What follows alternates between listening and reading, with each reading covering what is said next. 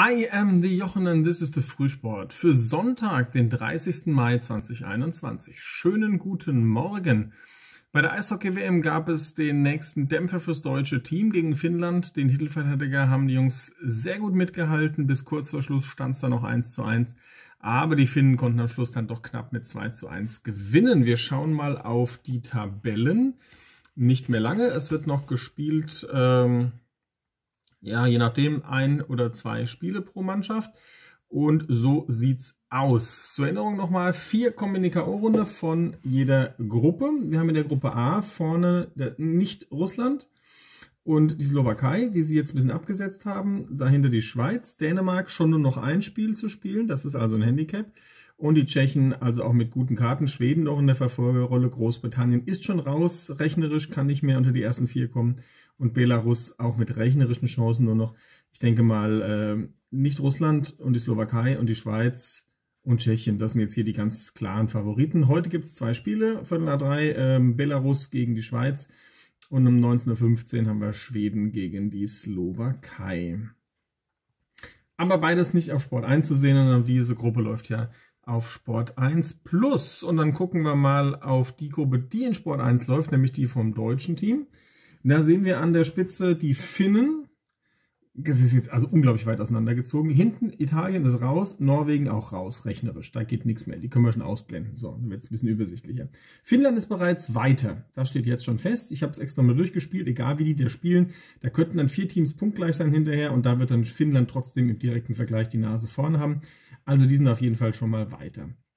USA mit guten Chancen, Kasachstan zwar Dritte, aber hat halt nur noch ein Spiel. Deutschland, Lettland könnten vorbei und selbst Kanada möchte ich noch nicht ganz abschreiben. Heute gibt es um Viertel nach drei Italien gegen Kanada.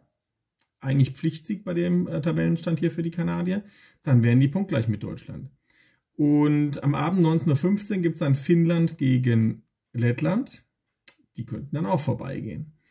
Ähm, Deutschland heute nicht am Start, aber trotzdem zwei durchaus richtungsweisende Spiele in dieser Gruppe. Das deutsche Team dann noch mit zwei Partien morgen und übermorgen. Wir bleiben dran, also Sport 1 heute Viertel nach drei und Viertel nach sieben, wenn ihr Eishockey gucken möchtet. Eure Anlaufstelle. Champions League-Sieger des Jahres 2021 ist der FC Chelsea. 1-0 im englischen Finale gewonnen gegen Manchester City. Torschütze, der goldene Torschütze Kai Havertz. Herzlichen Glückwunsch an die äh, Truppe von Thomas Tuchel mit äh, Rüdiger, Werner und Havertz ja auch drei deutsche Spieler, die jetzt hier ähm, den Titel mitgewinnen konnten. Und Tuchel ist der dritte deutsche Trainer in Folge, der die Champions League gewinnen kann, nach Klopp und Flick jetzt also Tuchel. Und der besondere Clou ist ja noch, wenn man sich PSG anguckt. Die letzten beiden Trainer, die bei PSG nicht mehr bleiben durften, weil sie international keine Erfolge feiern konnten, war Unai Emery bis 2018 und war Thomas Tuchel bis Ende 2020. Das waren die letzten beiden, die dann nicht bleiben durften in Paris. Und die beiden haben jetzt in dieser Woche die großen europäischen Pokale abgeräumt. Emery am Mittwochabend mit der Europa League und Tuchel jetzt eben mit der Champions League. Interessant. Lass mal mal so stehen. Es gab Finaltag der Amateure gestern und da haben sich Teams für den DFB-Pokal qualifiziert. Auf die Ergebnisse verzichte ich. Ich nenne einfach kurz die Sieger, falls es jemand nicht gesehen hat. Im DFB-Pokal werden folgende Amateurteams mitspielen. BFC Dynamo Berlin, Viktoria Köln, Wuppertaler SV, dann Waldhof Mannheim, SVW in Wiesbaden, Sportfreunde Lotte und Preußen Münster, das wussten wir aber schon. Rot-Weiß Koblenz, der SV Elversberg, ähm, Lok Leipzig, SSV Ulm und Babelsberg 03 sowie der SV Meppen und vielleicht auch der erste FC Magdeburg, der zwar gegen Halle gewonnen hat, aber da ist immer noch nicht ganz endgültig rechtlich geklärt, ob dieses Qualifikationsspiel wirklich so hätte stattfinden dürfen. Ich hatte gestern schon davon was erwähnt, behalten wir mal im Auge. Und der Greifswald, der FC, der hat zwar nicht gespielt gestern, aber ist bereits von seinem Landesverband äh, Mecklenburg-Vorpommern gesetzt worden als Teilnehmer, weil Hansa Rostock bereits äh, über die dritte Liga qualifiziert ist. Alle anderen, die jetzt noch fehlen, ähm, werden noch in irgendeiner Weise in den nächsten Wochen dann weitere Qualifikationen ausspielen oder losen oder entscheiden. Bis äh, Ende Juni ist noch Zeit, da jeweils einen Vertreter zu finden. Bundesliga-Relegationen gestern, das war ein Paukenschlag. Der 1. FC Köln gewinnt 5 zu 1 in Kiel und sichert sich damit weiterhin die Bundesliga-Teilnahme. Kiel bleibt zweitklassig, bisschen tragisch nach einer tollen Saison mit zwei Quarantänezeiten und Pokalhalbfinale am Ende hat es dann doch nicht gereicht. Und ähm, nachdem jetzt Bremen ja abgestiegen ist, Hamburg nicht aufgestiegen ist, Kiel nicht aufgestiegen ist, gibt es die skurrile Situation, dass es keinen Bundesligisten nächste Saison gibt, der nördlich von Berlin liegt. Danke an äh, meinen Zuschauer äh, Sternburg, der mir das ähm, gesteckt hat, auf anderem Wege. Ähm, Habe ich so auch noch nicht gesehen. Also ist eine interessante Karte nächstes Jahr. Der Norden spielt zweitklassig, denn die zweite Liga, die hat nächstes Jahr Kiel, die hat Rostock, die hat St. Pauli, die hat den HSV, die hat Werder Bremen, die hat Hannover dabei ist schon irgendwie drollig. Übrigens, apropos Kiel, heute Abend 23.15 Uhr gibt es im Norddeutschen Rundfunk äh, die Sportclub Story über die Saison von Holstein Kiel mit eben diesen ganzen ähm, Handicaps, die sie jetzt am Schluss hatten und dem ja etwas tragischen Ende. Wer da reingucken möchte, NDR 23 15. Apropos Aufstieg in der Premier League hat neben Norwich und Watford gestern auch Brentford als dritter Aufsteiger dann den Sprung in die Premier League geschafft. 2-0 im entscheidenden Playoff-Spiel gegen Swansea. Und das ist Brentford insofern zu gönnen, als dass sie in den letzten 30 Jahren äh, zum zehnten Mal in einer Aufstiegs-Playoff-Runde standen in verschiedenen Ligen aber ähm, bisher alle neun nicht siegreich bestreiten konnten. Also es ist erste Playoff-Teilnahme, die am Ende wirklich zu einem Aufstieg führt. Und dann hat man es irgendwann auch mal verdient, finde ich. Heute geht es noch ein bisschen weiter mit Aufstiegsgeschichte und zwar 13.30 Osnabrück gegen Ingolstadt, das Rückspiel der Zweit-Drittliga-Relegation. Naja, Ingolstadt hat das Hinspiel 3-0 gewonnen. Ähm, da dürfte eigentlich nichts mehr schief gehen, wobei, das hat man gestern, also wer hat gedacht, dass Köln 5-1 gewinnt gegen Kiel, ne? Wenn die, wenn die Osnabrücker heute auch 5-1 gewinnen, sind sie durch. ZDF und The Zone sind live dabei ab 13.30 Uhr. Und 16 Uhr gibt es das Pokalendspiel der Damen mit äh, Frankfurt und Wolfsburg, die auf dem Platz stehen werden, äh, live zu sehen im ersten im Rahmen der Sportschau. 16 Uhr das äh, Pokalendspiel. So, soweit Fußball. Wir gucken zum Basketball. BBL Playoffs, fangen wir mal an. Ludwigsburg hat gestern gewonnen gegen die Bayern im ersten Spiel, führt logischerweise auch mit 1 zu 0. Heute gibt es die zweite Halbfinalserie ab 14 Uhr. Alba Berlin gegen Ulm. Das Ganze live auf Magenta oder Sport 1 im Free TV. 3 gegen 3 ähm, Olympia-Qualifikation. Das deutsche Team leider gestern mit zwei Niederlagen gegen Frankreich und die USA, damit in der Gruppe ausgeschieden. Und damit werden die Mädels beim Turnier, das heute zu Ende geht in Graz, sich nicht qualifizieren können für Tokio. Eine minimale Chance gibt es noch, denn es gibt noch ein, ja, es gibt noch so, so, so ein Trostrundenturnier wo ähm, die besten noch nicht qualifizierten Teams ähm, teilnehmen dürfen. Da wären wir momentan noch nicht drin. Einzige Chance, dass das noch klappt, wäre, dass Ungarn und Japan, die alle beide heute im Viertelfinale stehen, und dann kommt ja auch Halbfinale und so, ähm, wenn die sich beide unter die besten drei platzieren können und damit qualifizieren jetzt schon von dem Grazer Turnier, dann machen die ihre Plätze frei beim Turnier ähm, beim, beim, beim letzte Chance Turnier und dann würden dort äh, Estland und Deutschland noch nachrücken können. Also heute kräftig Daumen drücken für Ungarn und Japan. Ich muss aber fairerweise sagen, nach den bisher gezeigten Leistungen haben wir mit Frankreich und USA schon zwei ganz äh, heiße Eisen auf der Liste stehen und wenn die beiden sich qualifizieren, ist auch vorbei, weil dann kann ja nur noch als drittes Team entweder Ungarn oder Japan es schaffen. 12.45 Uhr jedenfalls kann man noch ein bisschen 3 gegen 3 Basketball gucken. Herrenturnier ist ja auch noch zu spielen. Das Ganze auf dem YouTube-Kanal Fieber 3x3. Und in der NBA, da gab es gestern die erste Serie, die dicht gemacht wurde. Milwaukee Bucks haben gewonnen gegen die Miami Heat und damit 4 zu 0. Klare Sache für die Bucks. Heute Abend gibt es um 19 Uhr auf The Zone Live die Atlanta Hawks gegen die New York Knicks. 2 zu 1 für die Hawks hier.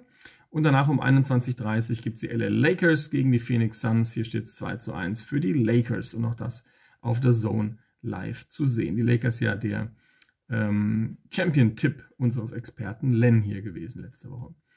Kommen wir zum Tennis. Die French Open beginnen heute in Paris. Drei deutsche Damen, sieben deutsche Herren sind am Start in den Einzelwettbewerben und die ersten sind dann heute auch schon gleich auf dem Platz. Nämlich zum Beispiel Angelique Kerber, die eröffnet um 11 Uhr. Es ist das Grand Slam Turnier, das ihr noch fehlt. Die anderen drei hat sie ja schon gewonnen. Und sie startet gegen die Ukrainerin Angelina Kalinina. Kalinina wahrscheinlich. Ich gebe zu, Davon habe ich noch nicht so viel gehört. Ähm, aber sie wird spielen, gleich um 11 im ersten Spiel und gucken wir mal, ob sie die erste Runde schadlos übersteht. Aus deutscher Sicht dann gegen Mittag Yannick Hanfmann, der spielt gegen Henry Larksonen aus der Schweiz. Das dürfte so 12.30, 13 Uhr werden.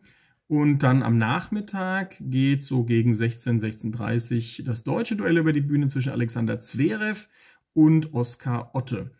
Eurosport überträgt vom Turnier äh, breit, aber mit einer kleinen Ausnahme. Eurosport 1 ist, also um 11 Uhr geht's los, auf allen Kanälen, Eurosport 360, Eurosport Player und so weiter, Eurosport 1, Eurosport 2 im Fernsehen.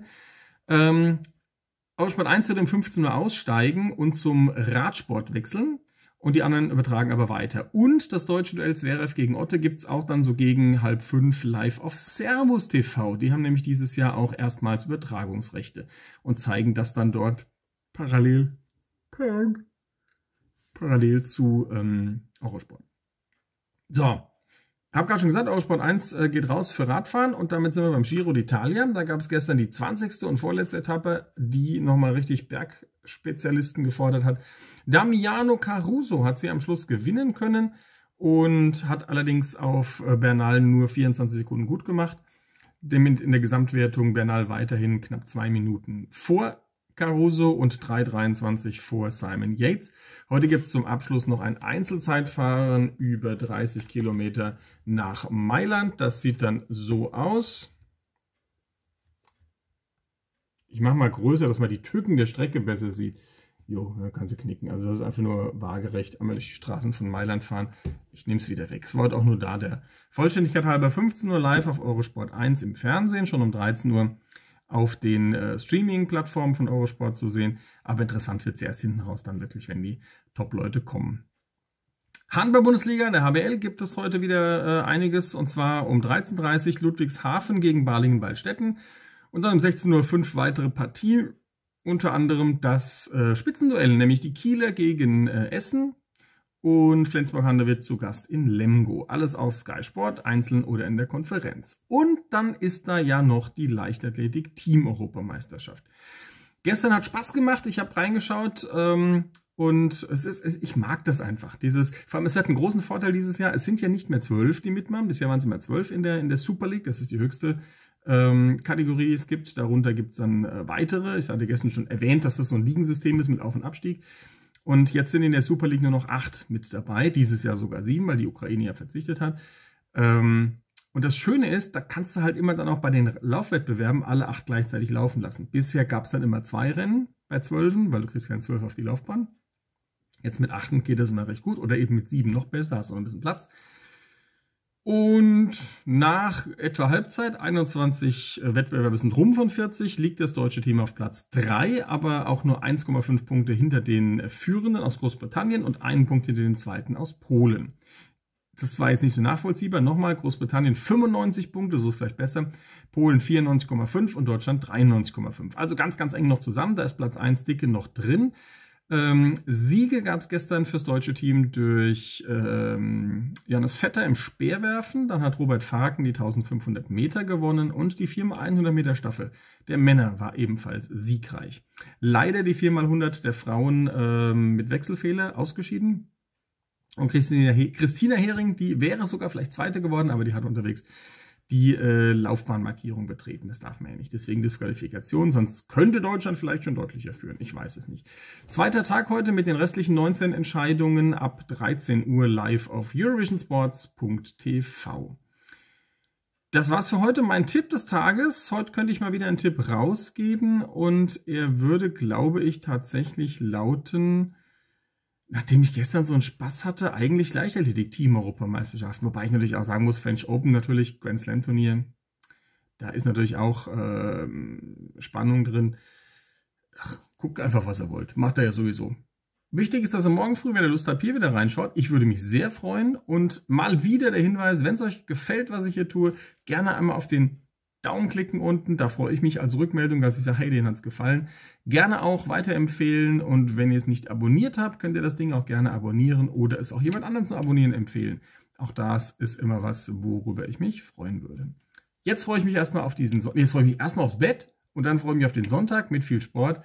Ähm, habt einen schönen solchen und dann gerne bis morgen. Tschüss.